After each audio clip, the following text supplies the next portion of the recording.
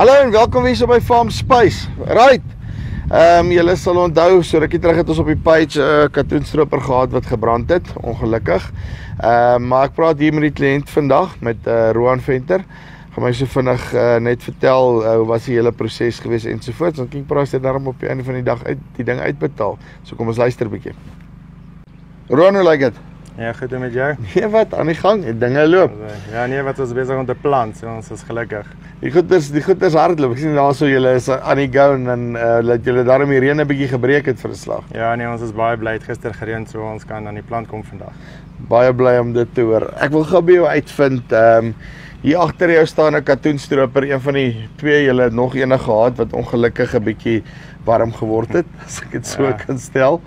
Ehm um, sê gou vir my wat ek by jou wil uitvind ehm um, wanneer mense oorgaan aan uh nuwe versekeraars toe uit 'n korttermyn oogpunt uit.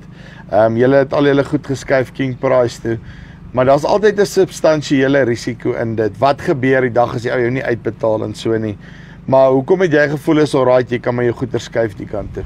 Wel, ons makelaar Koerde Lange het ons kom sien ons doen elke jaar ons ehm um, hernuwing van ons versekerings en Koert kom gewoonlik met verskillende versekeringsmaatskappye en ons bespreek dit in detail. En hy het begin werk met King Price en hy het ons vertel dat jy baie goeie diens by hulle kry. Hy het nog nooit 'n probleem met uitbetaling gehad nie. En ehm um, ja, dit het ons omgesit en gesels en ehm um, hy het ons geadviseer en ons het besluit om King Price te gaan. Nou, soos die duiwel dit wil hê, toe ehm um, besluit die een katoenstroop op aan die brand te raak. Vertel my net gou vinnig wat het daar gebeur? Okay, so as jy katoen stroop of strip, maar as gewoonlik maar oes, dan um, is daar maar altyd 'n risiko vir brand. Die katoen word geoes deur 'n katoenkop en dan gaan hy dan gaan hy deur die ehm um, die hele proses hy, hy skei die die katoen van die doppies wat daar is deur jy sal sien hierso bo gaan hy deur hierso en dan is daar 'n accumulator wat ons skoon maak, yes. 'n accumulator van die katoen daarso en dan voer hy hom deur na die baalkamer toe en dan rap hy die baal en dan spoeg hy die geel baal uit en en so kan jy maklik dan in die nuwe proses die katoenbale laai na die na die gin toe vervoer. So wat gebeur is baie keer in die voorkant van die van die strippers sal hy 'n klippie slaan of is 'n een of ander iets tref, byster optel of so iets. Ja, wat 'n vonk dan veroorsaak en dan gaan dit deur die masjien en dan wanneer hy hierso by die accumulator kom waar die katoen bymekaar gemaak word, voordat dit na die na die baalkamer toe gevoer word, dan gaan die vonk daarin en die katoen is hoogs vlambaar en dan ontstaan 'n brand daarso. En as dit redelik vinnig dan Ja, daar alles in vlamme. Ja, daar is 'n prosedure wanneer daar rook ontstaan of wanneer daar brand is, 'n hele prosedure wat ons uitvoer. Ons toets ook en oefen die prosedure gereeld. En ehm um, die wind het baie gewaai daai dag. Vir een of ander rede het die die accumulator wat die katoen soontoe gevoer het, het vreeslik gebrand binne-in en toe hom deurgevoer het soen toe het van die vlamme en die brandende katoen na die na die na die balkamer toe gegaan en ehm um, die proses kon nie die die brand gestop kry nie. En ehm um, ja, jy het brandblussers, ons het die brandblussers gebruik. Jy het 'n uh, jy het 'n ander waterstelsel hierso wat jy ook kan gebruik om die brand te blus. Ons het die myn langs ons laat kom om die brand te probeer blus, maar as die katoen eers aan die brand raak, is dit baie moeilik om hom gestop te kry. Ja, wel dan sit redelik nag. Nou, okay, right. En die volgende toe sê van ja, soos die duiwel het wil hê, ek het nou net geskuif na 'n nuwe versekeringsmaatskappy toe. Dan gaan die taai irriteer slat. Kom ons kyk nou wat gebeur. Hoe was die proses daarna vir jou gewees? Ehm um, wel ek het onmiddellik vir die makelaar vir Koert en kennis gestel en gesê hier's groot moeilikheid. die ding het nou gebrand en dan dink ek Hier's nou 10 miljoen rand se moeilikheid ja, hierso. Hy het baie keer dat ek al 'n grap met hom gemaak sê ek vir meneer Koert hierdie keer is dit baie ernstig. Die ding is besig om te brand. En ehm um, ek was nie hier nie my paal was al reeds op onmiddellik op die plaas gewees om te kyk wat aan die gang is.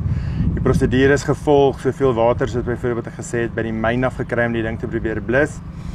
Toe ek vir Koert in kennis gestel, ehm um, hy het die gesê hy gaan die die registrasie die die die die die ehm um, eis registreer. En ehm um, ek het hom dadelik gesê die die die masjien staan op 'n area waar daar baie maklik diefstal kan plaasvind.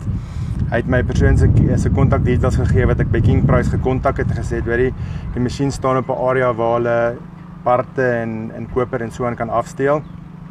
Hy het die prosedure gevolg en gesê kan dit by hom los. Hy het dit van daar af verder hanteer.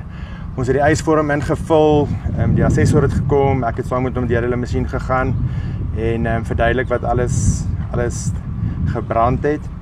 daarna het 'n brandassessor en 'n brand ehm um, ondersoekbeampte my gekontak en hulle het nogal oor 'n lang tydperk en baie ehm um, intensief gekyk na die proses, die proses verstaan.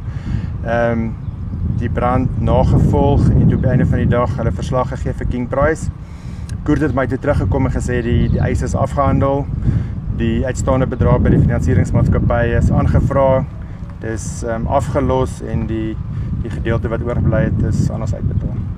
Ek sê ek so redelik pynloos, nie regtig issues ja, nie. Ja, nee, wat ehm um, gewoon gewoonlik by versekerings kom aan dan raak jy bietjie senuweeagtig en dink jy jy gaan die ouens uitbetaal vir al vir so groot eis en ons het die masjien nodig. Dis 'n integrale deel van ons boerdery. Ons grootste gedeelte van ons boerdery is katoen. So ehm um, op einde van die dag was daar geen En daai is nie 'n nok wat jy sommer net gou self vat nie. Nee, nee, dit is dit is 'n groot probleem vir ons. Kort en die lank van die storie is ehm um, ek sê jy weet King Price is een van die new kids on the block. Ek meen ehm um, ek het hulle ook eens mooi uitgekyk en dis hoekom ons besluit het om ook saam met hulle te gaan en 'n klomp goeie goedjies saam te doen. Sal jy hulle aanbeveel vir ander mense?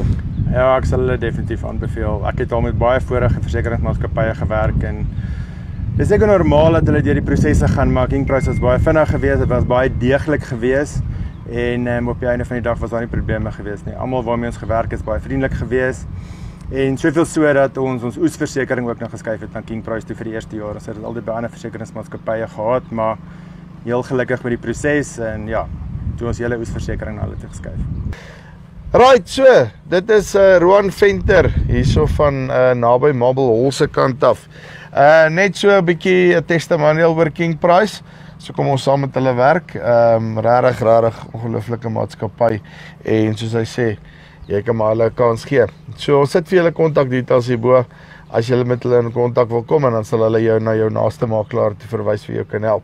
Dis hier van Farm Spice af. Tot volgende keer. Groete.